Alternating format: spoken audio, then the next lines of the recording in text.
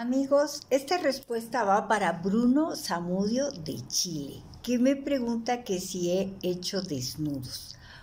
Bueno, pues sí, en una revista que se llamaba Eros y mi otro yo, y también en cine. En cine sobre todo me tocó una temporada que si no hacías desnudos quedabas fuera porque pues son modas que van pasando.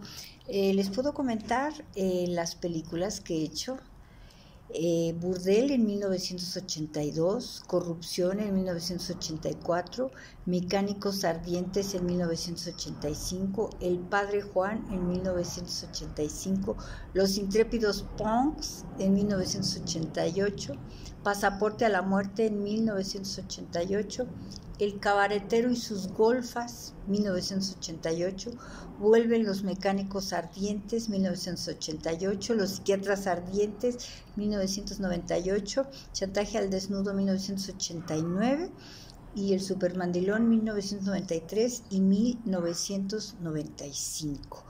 Ay, pues qué calor, es que hacía mucho calor. Bueno, el cine son modas, y hay veces que eso se pedía para los distribuidores estar vendiendo las películas, necesitaban que la película en esos tiempos tuviera sobre todo un desnudo.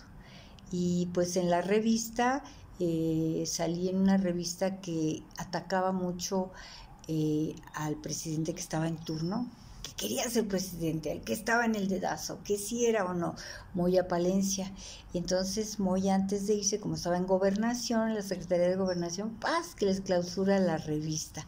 Esa fue la última eh, revista que salió mm, de Eros.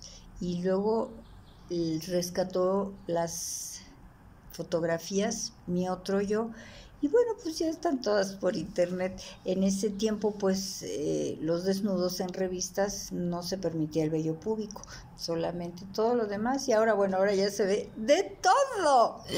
Bueno, síganme haciendo preguntas, los quiere Rosita Buchot. Un beso. Bye.